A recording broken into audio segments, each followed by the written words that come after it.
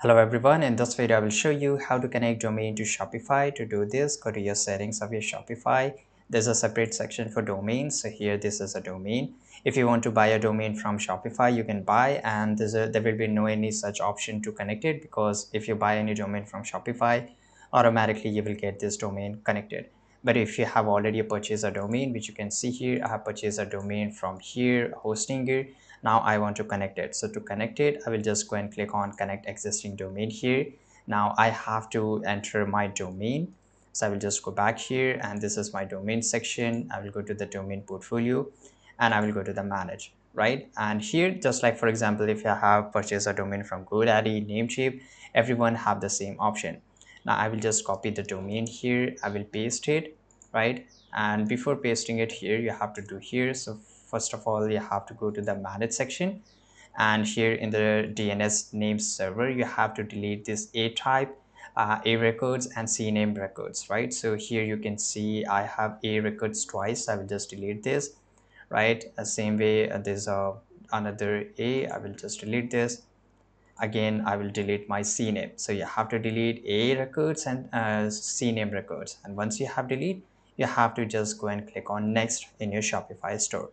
Once it does this as you can see here this domain required verification. So this is what they are asking. So here we have to verify uh, um, you know verify the connection. So to verify the connection here it says in the name of cname you have to copy this up. So we will set up first of all cnames i will just set up here cname and in the name section we will paste this up right? And same thing our current value it's around empty and we have to create another record that is a, a record. So first of all let's create a cname records and just go and click on add record. So this is a target. So in the target section you have to write shops.myshopify.com if you see a different thing here same thing you can see here right? Required value uh, shops.myshopify.com now you have to paste this click on add record now you have to add a record for the a right? So as you can see here for the a1 so we will just copy for the a.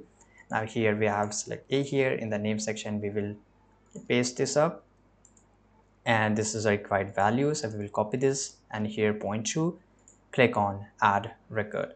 Now there's another option that is a name right? That is a txt record. So we have to click on a txt record. And here there's a no txt so we will just go here and we will look for txt so this is a txt in the name section we will copy this up we will paste here and the txt value is this we will paste again click on add record so we have added all the three which the Shopify asked to. Now we will just go and click on verify connection.